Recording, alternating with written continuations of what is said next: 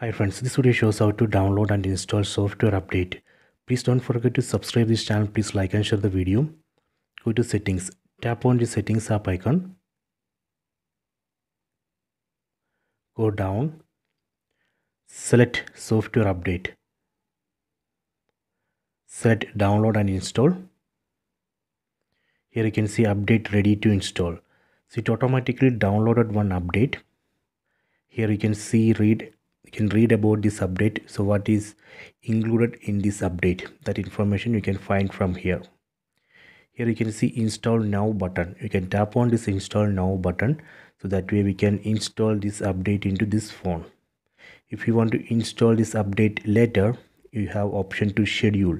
You can tap on this schedule install button so that way we can schedule the installation. So this way we can check for software update then download and install. I hope you have enjoyed this video. Please check it